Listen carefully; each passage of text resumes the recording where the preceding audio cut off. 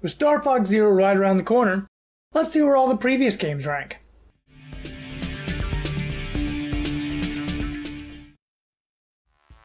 Now, Star Fox has always been a series near and dear to my heart. It's always been one of my favorite Nintendo series. The dogfights, the voice acting, it was all so cinematic. I've absolutely loved it.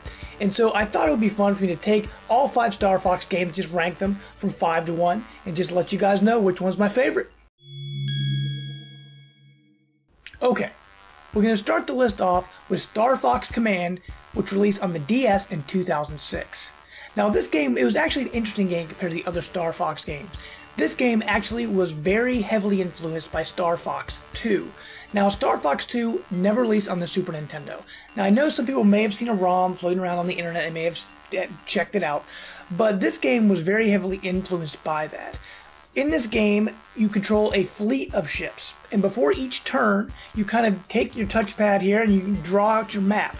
Uh, to know where your ship is going to go, and you can go to planets, you can stop missiles, and it it's a different way to play the game. Instead of flying to each individual planet, after your ship flies to a certain destination, then you have like a mini battle arena where you fight, and it it's not as cohesive as the other Star Fox games. One thing I will say though that's absolutely fantastic about Star Fox Command it has so many branching stories. There are so many different endings. There are so many different characters. That's actually a really cool thing about this game. But the reason it's a little lower on my list, like I said, is that you're fighting these little battle arenas, but also the entire game is touch controlled. So as you're playing, you're not using the buttons at all. You're actually doing everything from the touchscreen. So you're flying with this and you're shooting with the trigger buttons. Now, I know it's on Wii U Virtual Console, so if you want to check it out, it's, it's definitely worth it. It's a little harder to find on the DS now, physical copies, but if you love Star Fox, I would highly suggest checking it out, especially if you have some interest in Star Fox 2. Our next game on the list is Star Fox Assault for the GameCube, which released in 2005 by Namco. Now, this is one where after Star Fox Dinosaur Planet, which we'll get to later on our list, people were in the Star Fox game where you were back in your ship and you were flying around. Uh, and this game kind of does that, although it mixes in a lot of land missions where people complained a lot. Um, in this game, it actually holds up a lot better than people may remember. Um, I actually played through it recently on my GameCube, and it actually holds up really well. It was kind of a third-person shooter before third-person shooters are really a big thing because it, it plays okay. I mean, when you run on the ground, you use your sticks to aim and shoot, but there's a lot of mechanics that are missing. You know, um, like cover mechanic, things like that, which would really help the game a lot. It had a lot of things going for it. It was very ambitious because you could there were missions where you ran on the ground and then you could hop into a landmaster tank and ride around, or we could hop into an Arwing and you could fly around. Um, there were other really cool missions where Falco would fly down with his Arwing and you could actually hop on his wing with a gun, and you while he was flying around, you were shooting other ships. It was actually really really cool. And the story in this game is actually really good too. Now, if you want a game you can beat really quick in a weekend, Star Fox Assault is the perfect game for that. It's only a few hours long, so if you can get it on the cheap, I would absolutely check it out, especially if you love Star Fox. Now, I know, like I said before, there was a lot of hate about this game when it first came out, but now that time has passed, if you thought maybe I want to try it again, I would highly suggest it. The next game on our list may be a little controversial to some, but my number three is going to be the original Star Fox, and that released on the Super Nintendo back in 1993. Now, the reason it's a little bit lower on my list is because it was the first. I mean, it, there's there's some primitive things going on in here, in which Star Fox 64 actually does better later. Um, but it set the bar for so many things. It was one of the first three games, fully polygonal game, where a lot of the ships were very, you know, boxy and all that. But I mean, it played great. There was nothing else like it on the market, and it still had things you could fly different planets.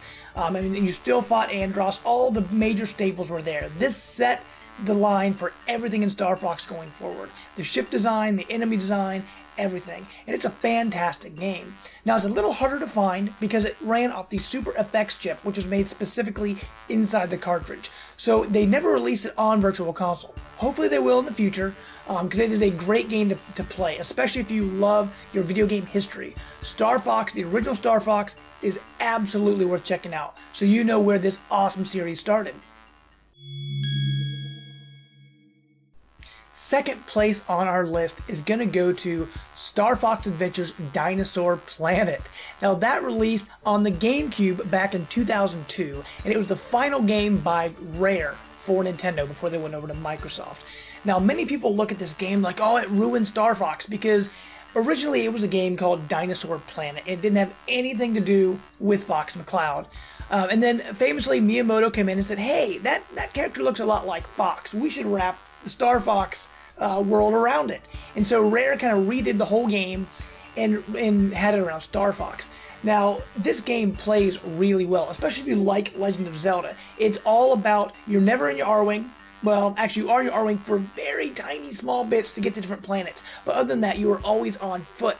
And you work with Prince Tricky of Dinosaur Planet, and he's kind of like your partner. So you can send him to do different things for you. You, you know, you can dig things out for you, and and it and you have this magical staff which gives you different powers. You can shoot fireballs and things like that out of it.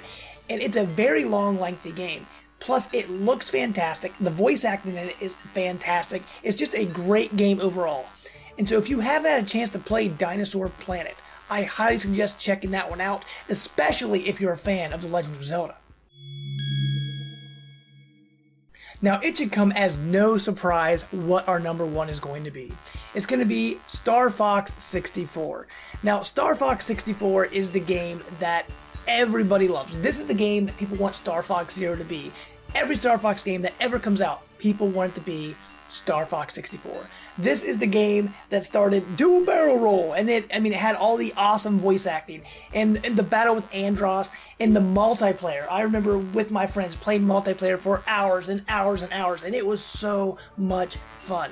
And this is Star Fox at its core. If you want, if you boil everything down and get rid of everything in Star Fox, Star Fox 64 is the heart of Star Fox, and this is the one I really hope Star Fox Zero is the closest to.